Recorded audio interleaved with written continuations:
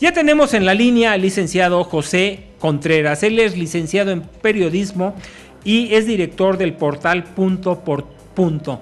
El tema que queremos eh, conversar con él es con respecto al asesinato de José Jaime Barrera Moreno. Él era jefe de servicios de la Facultad de Química y quien falleció el día 27 de junio eh, a manos de eh, asesinos. Imagínese que las personas que lo asesinaron eh, salen a decir y se adjudican el haber matado a José Jaime Barrera. ¿Quiénes son estas personas? Bueno, se ubican como anarquistas, estos anarquistas que se denominan tendiendo a lo salvaje.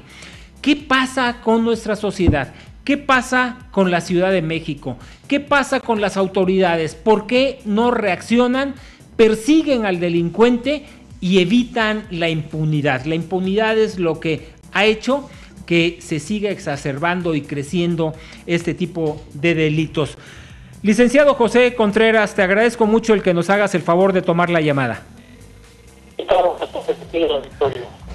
Eh, no, te, no te escucho bien, eh, ¿me podrías hablar un poquito más fuerte o ubicarte un poco mejor porque tu señal está entrecortada? A ver, si ya escuchan ahí. Muchísimo mejor, eh, José Contreras. Buenas tardes. Buenas tardes. Tú desde el portal punto por punto haces un análisis de lo que sucedió, inclusive escribes una columna en el periódico El Punto Crítico, en el Punto Crítico, donde tocas el tema. ¿Nos podrías dar una semblanza, un antecedente de qué es lo que sucedió y cuáles son las consecuencias que tenemos al respecto? Sí, con mucho gusto.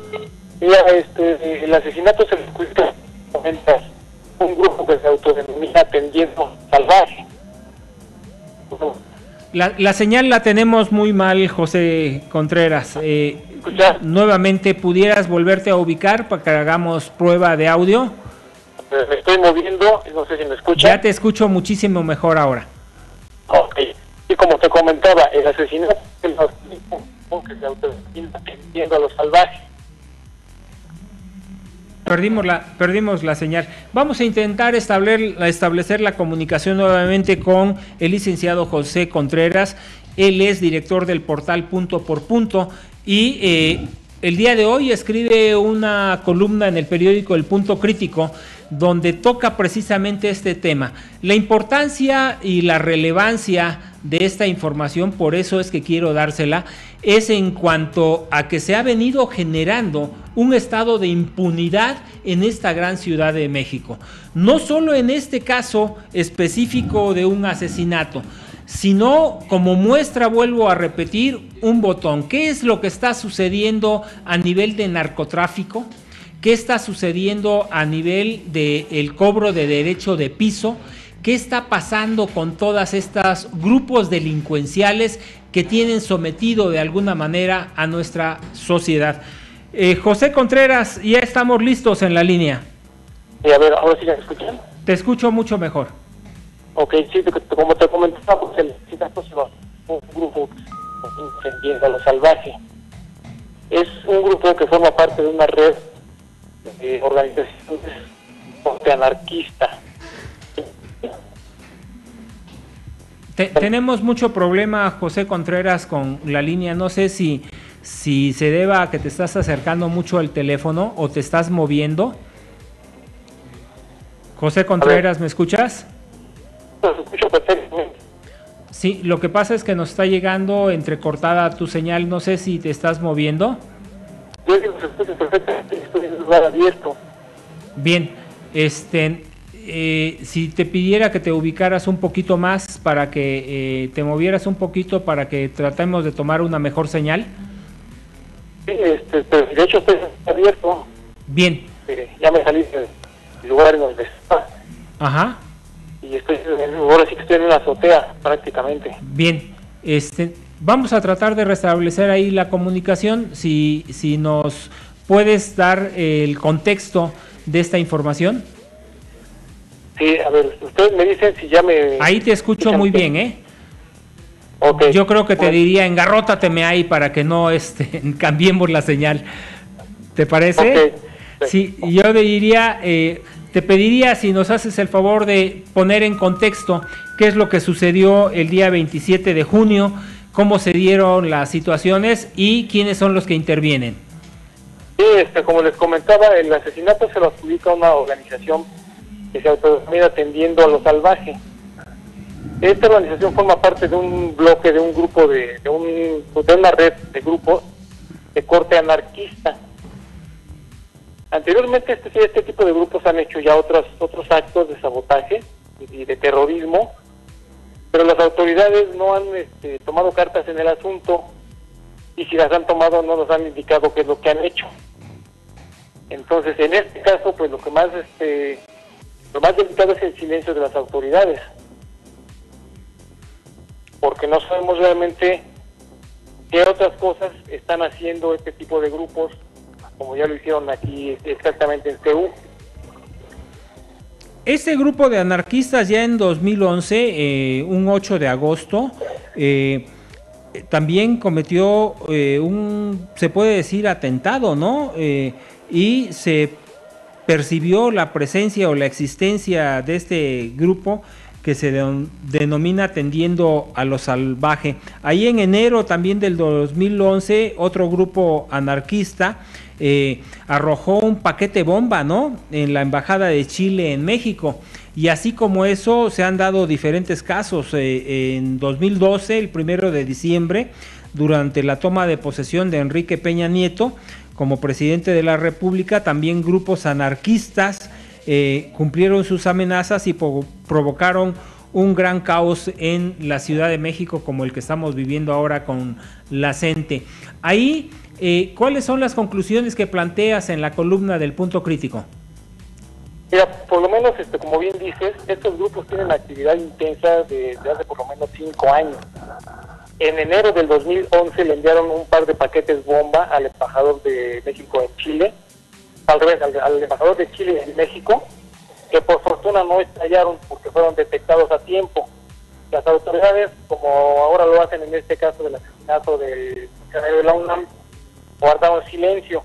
Posteriormente han hecho otros, este, han cometido otras acciones, han cometido un sinnúmero, son decenas de actos de sabotaje con bombas caseras, eh, sobre todo en caseros automáticos, y han atacado a algunos científicos, porque estos grupos se oponen al avance de la ciencia, entre otras cosas, se oponen a todo orden y al avance de la ciencia y la tecnología. Han cometido decenas de atentados, pero las autoridades han subestimado su actuación y si han y si los han investigado pues no nos han dicho.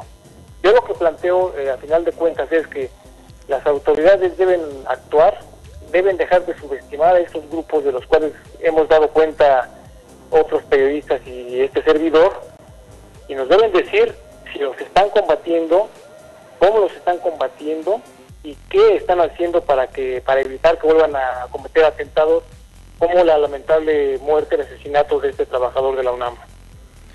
Bueno, sin lugar a dudas vemos que la impunidad es lo que está generando el que eh, se escale la violencia y los índices delictivos no solo en la Ciudad de México, sino en toda la República Mexicana. José Contreras. Como decía yo, perdóname que te interrumpa, como decía yo al inicio, lo que más preocupa es el silencio de las autoridades. ¿Por qué, eh, ¿Por qué ante esta adjudicación directa de este grupo y por qué ante la evidencia que hemos aportado en años anteriores del activismo de grupos de este corte, ¿Por qué la autoridad guarda silencio? Eso no me lo explico. Ojalá las autoridades nos lo explicaran en algún momento. Bueno, que te diría que hoy en la mañana estuve leyendo estos manuales del terrorismo. Fíjate que hay un manual básico de los terroristas y un manual eh, ampliado donde establecen también eh, cómo el gobierno infiltra a los grupos terroristas y entonces empieza a generar la escalada de los conflictos sociales para que en un momento determinado el mismo gobierno lo resuelva y la sociedad sienta que tiene un gobierno chambeador, un gobierno muy bueno y que resuelve las cosas cuando más se necesita. Eh, pensaba yo al leer estas líneas y a ir, ir leyendo estos reportes que pudiera estar sucediendo eso en México, ¿eh? Que se deje que vayan escalando los conflictos hasta el punto en que la sociedad esté harta y entonces aparezca la varita mágica que soluciona los problemas y ese pudiera ser el ungido para encabezar eh, la presidencia de la República, ¿no? Pues no lo descarto, realmente es algo que no descarto, sería algo parecido a lo que ocurrió con los llamados autodefensas, y no descarto que precisamente tengan un génesis oficial, un origen oficial o una infiltración grave oficial, como bien dices tú, pues para después aparecer como los grandes salvadores. Lamentablemente, pues este, llevan a mucha gente entre las patas y se está corriendo la sangre y eso es lo que no está bien. Sí, eso es falta de ética y moral. Ojalá que no esté sucediendo y nada más sean especulaciones de tu parte y de mi parte, ¿no? En beneficio, en, beneficio de nuestra sociedad. Claro. José Contreras, te agradezco mucho la información e invito a quienes nos hacen el favor de escuchar a que lean la columna del de, licenciado José Contreras, director del portal Punto por Punto, en el periódico El Punto Crítico el día de hoy. Lo tienen a la disposición en www.elpuntocritico.com. Muchísimas gracias por habernos tomado la llamada, José. Al contrario, muchas gracias a ti y estoy a tus órdenes. Pues esos son los temas. Ya tiene usted un panorama. Eh, estos manuales